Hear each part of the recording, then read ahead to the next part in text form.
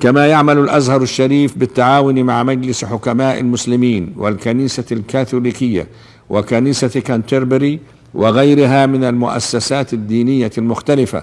على تنظيم تجمع